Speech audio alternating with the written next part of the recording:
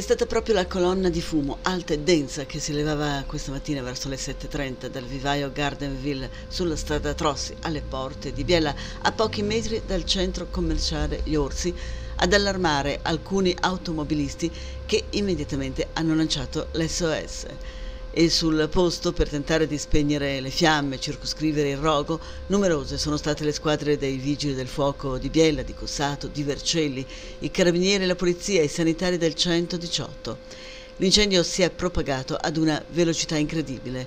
A nulla sono valsi gli sforzi del lavoro dei pompieri, tutto è andato distrutto e per diverse ore sulla strada Trossi, in prossimità dell'incendio, la visibilità è stata ridotta a causa del fumo.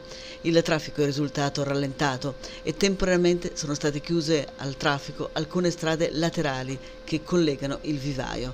Presenti anche i tecnici dell'ARPA. Un settore del magazzino era riservato anche alla vendita di piccoli animali che potrebbero essere morti nell'incendio. Le fiamme sarebbero proprio partite da questo settore adiacente al magazzino per poi coinvolgere il resto della struttura. I danni sono ingenti e nulla è stato salvato dalla violenza delle fiamme. Le origini di questo devastante evento restano ancora avvolte nel mistero, ma le squadre di investigatori stanno attivamente lavorando per identificarne le cause.